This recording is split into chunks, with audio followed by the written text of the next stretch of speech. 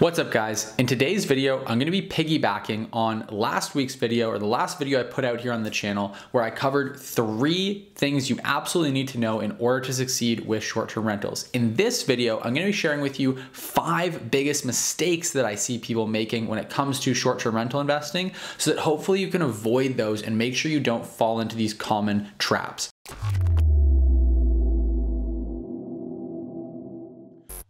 So the first one, let's dive right into it, is I see a lot of people picking the wrong areas. Now this is something I addressed in the last video, but I see people making this mistake all the time. So I wanna make sure it doesn't get overlooked. I see people making the mistake of picking the wrong area to get started in. And oftentimes this happens when people already own a property that they're, you know, used to be a primary residence, or maybe it used to be a long-term rental and they're thinking about converting it over to a short-term rental. Now, in some instances, that can be a total home run. It can be a really, really really great play, but not all instances is that the case. In some cases, you're just in a bad area for short-term rental. Maybe there's regulations that are working against you. And so I also see people making the mistake of getting emotionally attached to an area that they want to own a property in, and they try to make it work. We saw Shelby Church, a prominent YouTube influencer, uh, who made this mistake herself. She invested in a market called Palm Springs, California, where the regulations really weren't in her favor. So I see people make this mistake all the time, big and small, and you just want to make sure that you really do your research on your neighborhood. So that's mistake number one. You want to avoid that by just fully understanding the regulations and trusting the data and the information you have, not getting emotionally attached to a reason that you want to buy in a particular area. Now, mistake number two that I see people make all the time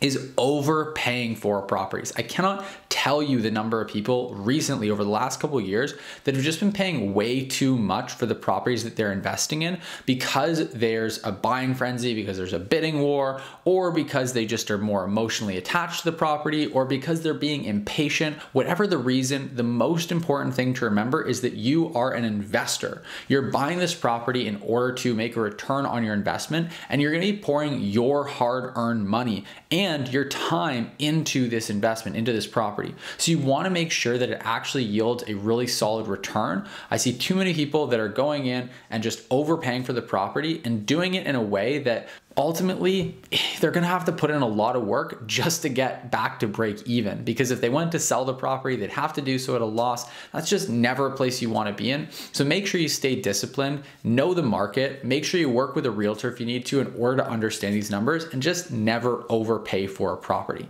the third big mistake that I see people making is just not knowing their numbers when it comes to how much the property will generate in income and will cost in expenses. I see people overlooking this or doing kind of back of the envelope math all too frequently. Again, it's important to remember that you're pouring tens, if not hundreds of thousands of your own hard earned dollars into this property, into this investment. So you wanna make sure you really know your numbers. It's not enough to just do some light due diligence by checking other properties on Airbnb and guesstimating at what this property could do. You really wanna have certainty before you just go and sort of YOLO your money into any property. Again, this is something that we've seen influencers like Shelby Church doing, just not really doing proper due diligence, not factoring in enough for expenses. Um, and so you really wanna make sure that you just do your homework ahead of time so you can accurately project both the income and the expenses that you would expect for a given property. Again, this is something that you definitely can do. You don't have to be a fortune teller. You just have to know where to look and you have to put in the work. Those are the three first mistakes I see people making in order, honestly, of how they make them. The fourth mistake that I see a lot of investors making when it comes to short-term rental investing is honestly just under listing the property. And what I mean by that is that they launch the property and I see them make this mistake all the time is they do it hastily and they don't take the time to fully understand how to optimize their listing. Now, this is a massive mistake because whether they just hire a subpar photographer or they don't price the listing property properly or maybe they just don't take enough time to create a really captivating headline for the listing, all this stuff means that even if they have done all the work that they should have done in their due diligence period, the property is still ultimately just going to underperform and they're going to be leaving a lot of money on the table. The reason why making this mistake tends to sting so much is because when you make this mistake, there's just such easy money that you're leaving on the table that if you just made a few small tweaks, you wouldn't have to spend any more money. You'd barely have to spend any more time. And you could, in some instances, literally be grabbing hundreds or thousands of dollars more in income per month or per year. So I highly recommend that anyone that's looking to get started with short term rental investing understand the algorithm, understand how these different platforms work, understand how to use a proper pricing strategy. And really, you know, a lot of the time that means working with someone like myself, a coach who can walk you through that. If not, checking out all the YouTube videos on a channel like this one is going to walk you through it step by step. Whatever you have to do to become educated and make sure that you really can maximize on what you've already got, that is something that's going to help you to produce way better returns with very little additional effort. Now, the fifth and final big mistake that I see a lot lot of investors making when it comes to short-term rentals is they rely too heavily on themselves to manage the property ongoingly. Now, there are different options when it comes to managing your short-term rental. You can outsource your management to a management company, and in the right situations with the right property, that is a really great move.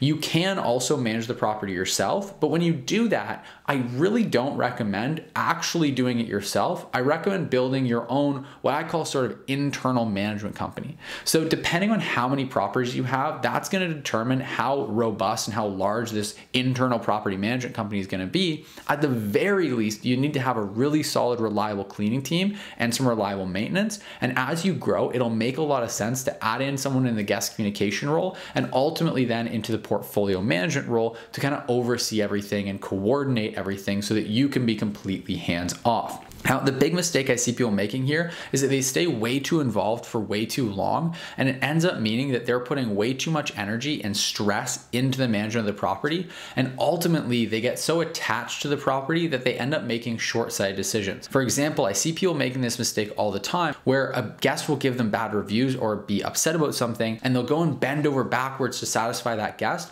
because they take it so personally. Whereas when you're more hands-off and you let your team manage that, they can make a more analytical decision about these things and take the right actions that are going to benefit you the most long term. And then ultimately, because you're not as stressed out managing the properties, you're going to have more bandwidth to go and expand and invest more and grow your portfolio. So, whatever stage you're at, you're going to really want to implement some strategies to take the management of the property off of your plate and really put systems in place so it can be much more passive.